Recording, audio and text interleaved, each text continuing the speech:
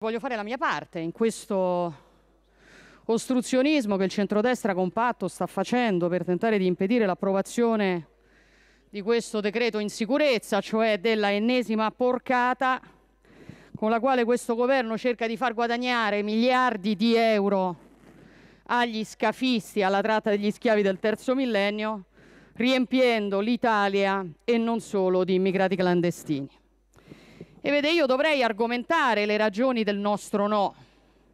Dovrei entrare nel merito e provare a far finta che quello che si sta svolgendo in quest'Aula sia un confronto tra modi diversi, ma entrambi legittimi, di voler governare i flussi migratori. Ma non lo farò, eh, Presidente Fico. Non lo farò banalmente perché non c'è nulla di sensato in quello che state facendo. Non c'è nulla che possa ragionevolmente essere considerato un tentativo di governare un fenomeno complesso come quello dell'immigrazione irregolare. E la maggioranza lo sa bene. Lo sa nella misura in cui sono anni che tenta di scappare da questo confronto. Chiunque abbia tentato di fare domande banali è stato eh, considerato o tacciato di essere xenofobo, razzista, di non volere eh, guardare il diverso da sé.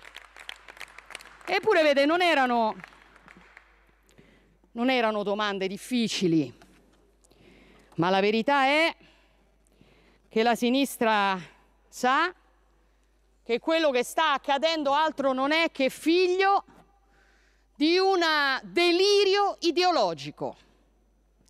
Ed è la risposta migliore a questa domanda, perché la risposta peggiore è che quello che sta accadendo è figlio di una sinistra ormai to- totalmente prona agli interessi della grande speculazione finanziaria, del grande capitale e di quelli che usano centinaia di migliaia di disperati per produrre un'omologazione nelle società e per rivedere al ribasso i diritti delle persone. Questo, questa è la risposta peggiore. Però, vede, uno pensa sempre che magari si sbaglia. Non mi parevano difficili le domande che abbiamo fatto in questi mesi, ma io capisco che la sinistra abbia un problema a rispondere. Mi rendo conto che sia difficile riuscire a spiegare agli italiani perché mentre ci sono milioni di disperati per a causa dell'emergenza Covid e migliaia di problemi dei quali occuparsi, il Parlamento della Repubblica Italiana non si occupa di quei milioni di italiani che pagano lo stipendio a questi parlamentari e si sta occupando degli immigrati. Mi rendo conto che sia difficile spiegarlo. Mi rendo conto che sia difficile spiegarlo. Perché mentre il contagio corre in tutto il mondo, noi invece di difendere i nostri confini li spalanchiamo.